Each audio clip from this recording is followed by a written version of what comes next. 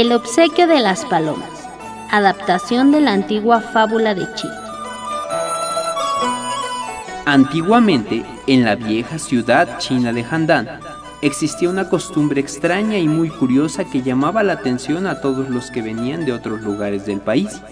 Los habitantes de Handan sabían que su amada reina adoraba las palomas y por esa razón las cazaban durante todo el año para entregárselas como obsequio. Un día sí y otro también, campesinos, comerciantes y otras muchas personas de diferente condición se presentaban en palacio con dos o tres palomas salvajes.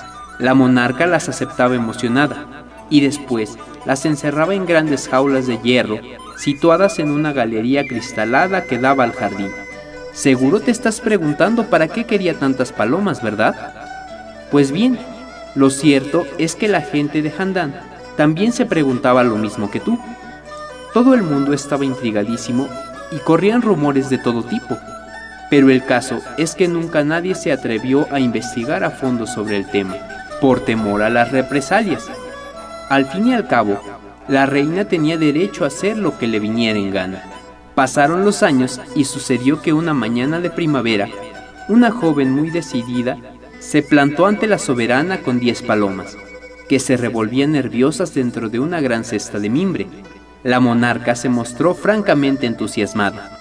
Oh, gracias por tu regalo, muchachita. Me traes nada más y nada menos que una decena de palomas. Seguro que has tenido que esforzarte mucho para atraparlas, y yo eso lo valoro. Toma, ten estas monedas, te las mereces. Viendo que la soberana parecía una mujer alegre y cordial, se animó a preguntarle para qué las quería. Alteza, perdone mi indiscreción, pero estoy muy intrigada.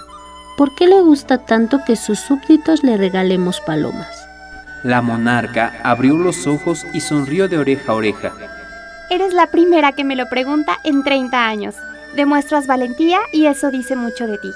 No tengo ningún problema en responderte porque lo hago por una buena causa. Le miró fijamente y continuó hablando de forma ceremoniosa. Cada año, el día de Año Nuevo, realizo el mismo ritual.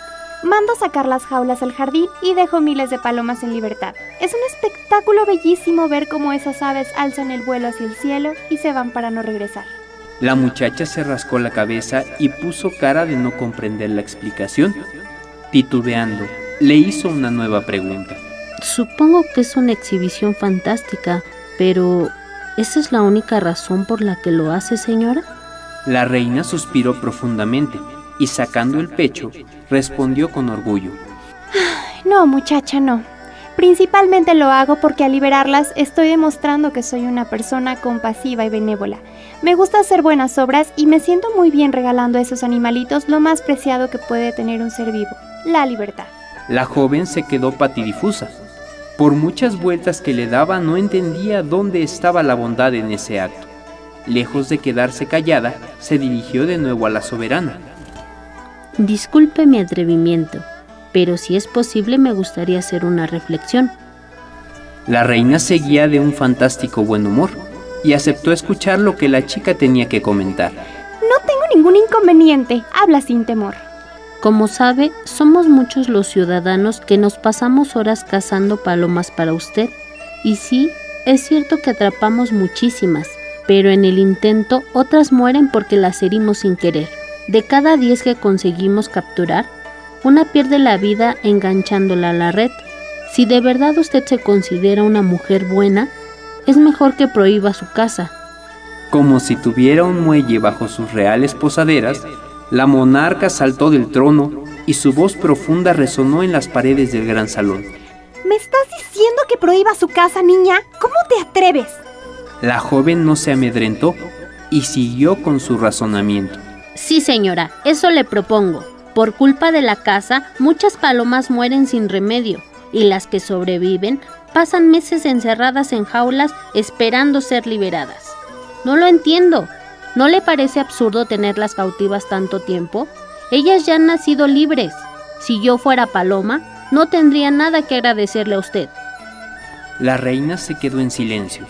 Hasta ese momento jamás se había parado a pensar en las consecuencias de sus actos, creyendo que así el bien estaba privando de libertad a miles de palomas cada año. solo para darse el gusto de soltarlas.